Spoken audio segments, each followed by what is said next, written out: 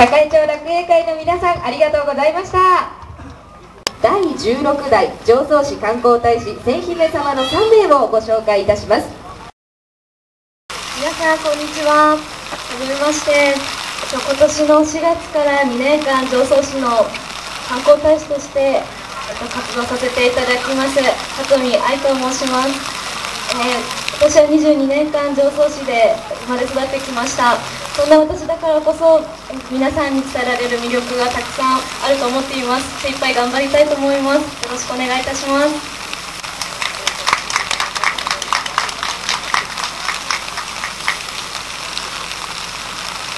皆さんこんにちは。第16代常総市観光大使千姫様に選ばれました倉持みなみと申します。本日はお足元の悪い中お越しいただき本当にありがとうございます。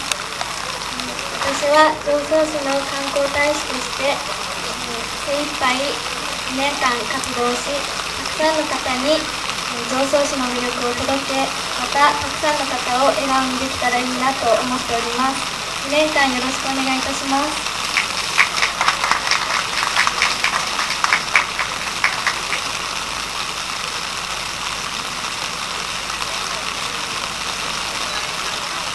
皆さんこんにちは。第16代目常総市観光大使千姫様となりました。倉田茜と申します。常総市の魅力をたくさんの方々に伝えていきたいと思っております。よろしくお願いいたします。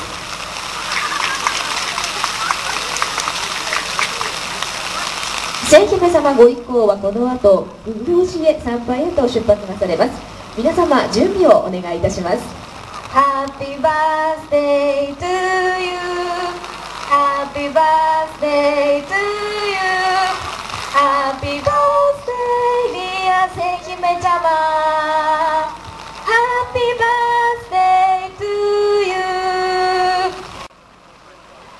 んちゃんとうまい棒もらえましたでしょうか？